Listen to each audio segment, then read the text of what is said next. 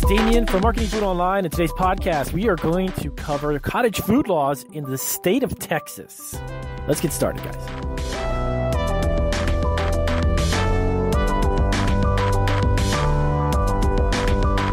All right, so let's get right into it. So I've had a lot of inquiries uh, lately about cottage food businesses, actually, as a whole. To tell you the truth, um, many of the different cottage food laws throughout each state, of course, vary.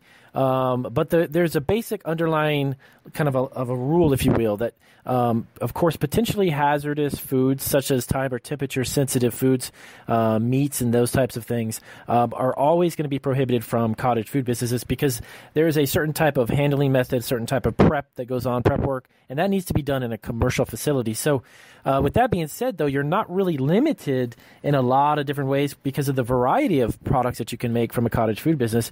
But do keep in mind that every state uh, has its own laws in regards to cottage food business. So this podcast, I'm going to cover some of the basic understandings of what you can and can't sell, where you can sell it, some of the licenses or permits that you may or may not need to have, um, and of course, I'll have in the description down below links uh, for specific states. So what you will have is uh, the ability to take a closer look at your state, and then uh, keep in mind the really unique thing though about cottage food businesses is that local municipalities, um, counties, um, and cities and counties can actually create and have in place certain regulations or certain laws um, about cottage food businesses, and that can vary even more so. Uh, reason being, of course, that those municipalities have the ability to do that on a local level. Of course, states have a, kind of an underlying uh, bill in place that is set for cottage food production, but when you get to um, your local city or local county, you might to you might need to also double check to verify if there's any additional types of, of zoning questions or uh, licenses or permits that may be needed in addition to uh, on a local level. So please do keep that in mind as well. So let's get right into it. So Texas um, has a really good, um, actually really good law in place in regards to cottage food business. Right now, currently, you can make you can sell up to fifty thousand dollars from your home with food products that you produce uh, from your home, which is quite quite a lot of money for as a part time, you know, uh, as a part time food business on the side. Especially if you're looking to just get into the food business, you've never done this before. Starting at home is always a great place. Starting small and local is going to give you an opportunity to understand the ins and outs of uh, not only just running your own business, but starting a small business, um, selling locally, so you could see how it is to actually interact with customers, um, selling food products as opposed to other types of retail products. So it's always a good thing to start small and, and continue to think big, you know, and, and develop your food product, develop your processing, develop your business skills, and then going into a commercial facility obviously would be the next step up. So, um, one of the biggest things, the interesting things about the cottage food laws in Texas is that there is um, there's no specific licensing needed to do it other than the uh, food handlers training course. There is a course that you need to take. It's a food handlers course, and it's a it's a great course to have. To be honest with you, so you can understand the the handling of food, the prepping, the packaging, the bagging, the labeling, um, and, and, it's a really great course to take. Um, not every state requires it. In the state of Texas, they do ask that you do get a food handlers course. Um, the thing about it is that there's no license required necessarily from a Department of Agriculture or anything of that sort. So that is one thing that you don't need to have right off the bat.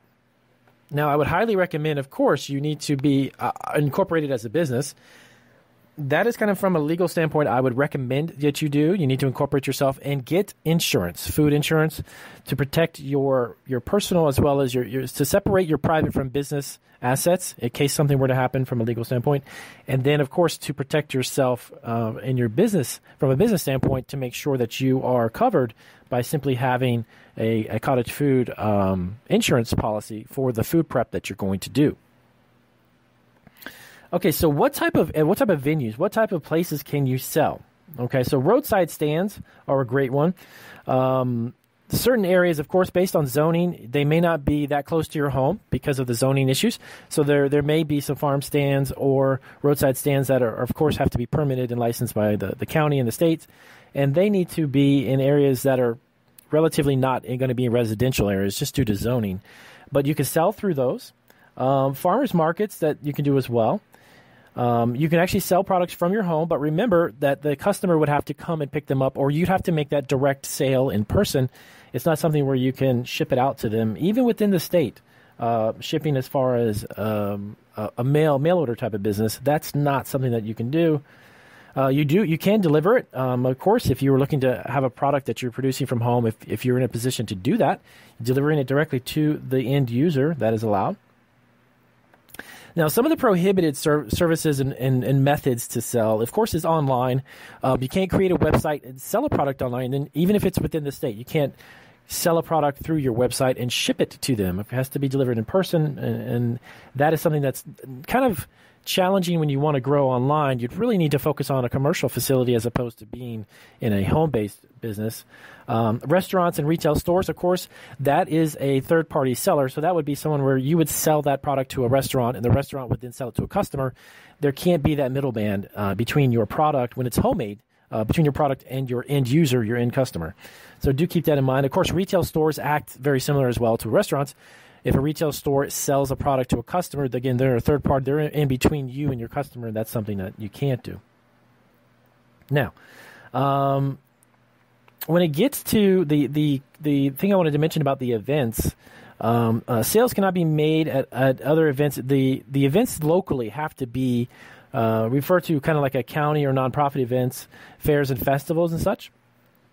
And those are places that you can you can go through. If you're looking to do the farm stands, just keep in mind you want to make sure that that farm stand, of course, is licensed and it has a, has its proper permits or licensing uh, based on the county's regulations when you begin to sell at those. Now, what kind of a food? What kind of foods can you make? Well, actually, the list is quite quite long. To be honest with you, there's quite a bit. Um, it's very similar to most of the home home food businesses in other states.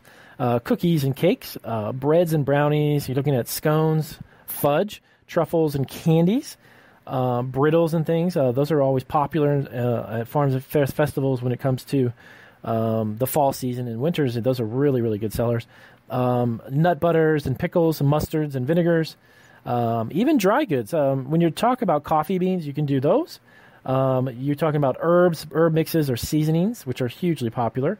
Uh, dried fruits, uh, tea leaves. Um, this would actually be uh, dried tea leaves, of course, not those that you dry yourself. Um, but you have to actually have get dry, dry, leaves. You can get them in bulk, do blends or mixes, mixing them and then selling them. When it comes to uh, pastries, you could do anything from um, danishes to pies, co- uh, cones. You can even do um, fruit butters, jams, and jellies. Uh, when it comes to preserves, those are always popular gifts, and those are always popular items at, at farmers markets and, and roadside stands and such. Um, when it comes to snacks, this is also a big, big, huge list. Uh, nuts and seeds, as I've mentioned in other states, you can do those, and, and the variety of flavors and such that you can package is gigantic. So the market is huge for that. Granola, um, caramel corns, chocolate covered items, um, excuse me, which would include things like pretzels or marshmallows, uh, graham crackers, Rice Krispie treats. Those are all great for chocolate covered. Those can be sold. Now, getting into a real brief list of the things that are kind of prohibited just due to the production and how they're made, because you got to be really careful. Um, things like salsas, sauces, ketchups and juices, uh, jerkies like dried meats, those would have to be done in a commercial facility. Uh, pasta noodles, ch- um, chocolate covered fruits, uh, candied apples. See, these are things that would be really. Um, there's the processes to make them.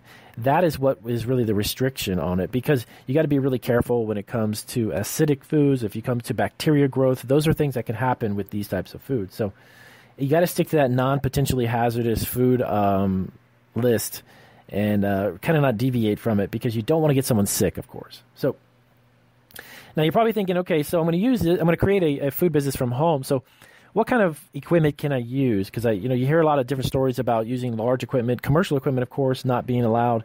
So commercial equipment is not is prohibited. It's not something you can use. What is commercial equipment? Well, when it comes to those oversized commercial mixers, uh, the dough mixers, when you talk to f- walk-in freezers, refrigerators, those require a certain type of, of electrical ampage, okay, electrical outlets, and they're not something that you can just plug in at a home. So those are those are things that you don't want to bring into a home setting, a home kitchen, and then try to figure out how to get that up and running. You really need to stick to equipment that is used in the home.